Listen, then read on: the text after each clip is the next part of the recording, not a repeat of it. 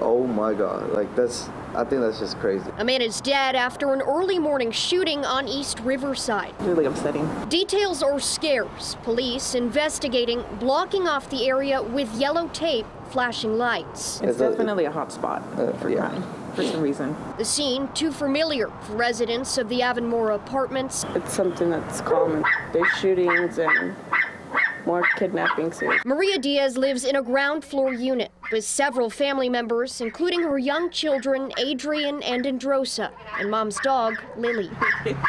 Someone recently tried to break in. He didn't really hear somebody coming in until they were like almost halfway in. They've considered moving, but she's not sure anywhere they could go would be better. Probably be the same. Also weighing their options, Or we actually get off at work at 1 a.m., come home at 1.30. 20 year old Victoria Gutierrez and 19 year old Jose Becerra. The young couple work at Chick fil A together. We always want to rush in, especially coming home that late. Like we stay in the car for like five minutes. We hear something or we see someone walking, and we're like, okay, let's go, let's go, because like we don't know what's gonna happen. Jose says he doesn't want to walk their dog anymore. I like to think about the future, and like this isn't somewhere I want to, I would want to be for the future per se.